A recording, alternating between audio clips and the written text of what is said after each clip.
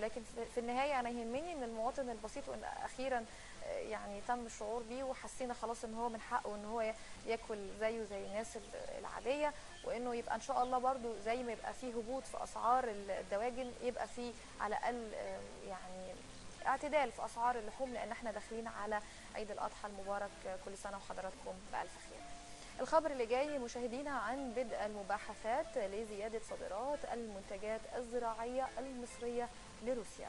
تفاصيل الخبر بتقول بدأت وزارة الزراعة واستصلاح الأراضي مباحثاتها مع الممثل التجاري الروسي لسفارة موسكو بمصر لزيادة صادرات المنتجات الزراعية المصرية لروسيا ويأتي ذلك في خلال إعلان الإعلان المشترك بين الرئيس عبد الفتاح السيسي ونظيره الروسي فلاديمير بوتين. في اللقاء الذي جمع بينهما لزيادة الصادرات الزراعية المصرية بنسبة 30% عن المعتاد وخاصة من الخضروات والفاكهة الطازجة. التي تحتاجها موسكو بعد منع الصادرات الأوروبية الزراعية من الدخول إلى أسواقها. خلينا نشوف رأي المهندس حمدي عاصي رئيس قطاع الخدمات الزراعية والمتابعة. أهلا بحضرتك يا باشمهندس. أهلا بيك يا فندم. أهلا وسهلا. تعليق حضرتك على الخبر ده إيه وكيف سوف تستفيد مصر من هذا التعاون مع روسيا؟ اولا التعاون بيننا وبين روسيا ده من قديم الأزل ويمكن من قبل بناء السد العالي. وروسيا دي دولة صديقة طول عمرها لنا.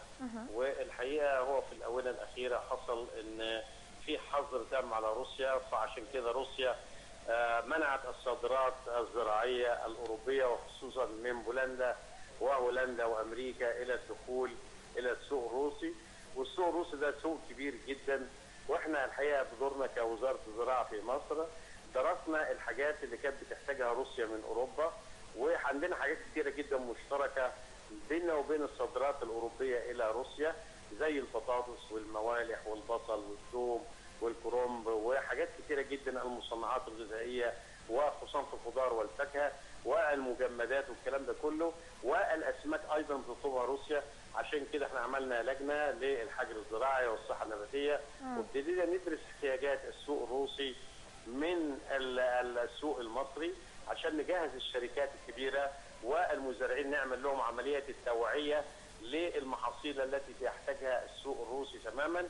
ويمكن كان عندي أنا هنا امبارح في المكتب الملحق التجاري الروسي لدراسه كل الطلبات الروسية لتجهيزها ويمكن واخدين كمان ميعاد هيجي لنا السفير الروسي يوم الأربعاء إن شاء الله يقابل الوزير المصري وزير الزراعة المصري لاكتمال هذه التفاهم بيننا وبين روسيا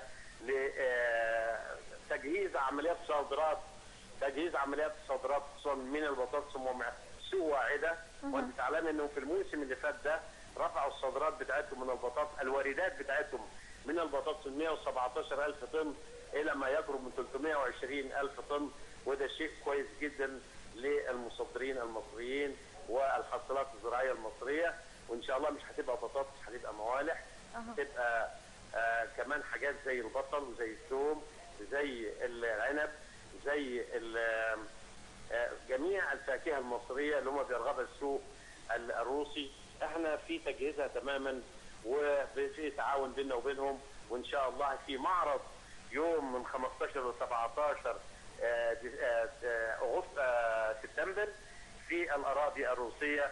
حضرات 42 شركة مصرية لعرض المنتجات المصرية هايل في جدا. السوق الروسي هناك يا فندم. طيب باشمهندس هو يعني حضرتك شايف إنه منع الصادرات الأوروبية الزراعية للسوق الروسي إن ده جه في مصلحتنا وهم ليه أصلا منعوا الصادرات الأوروبية؟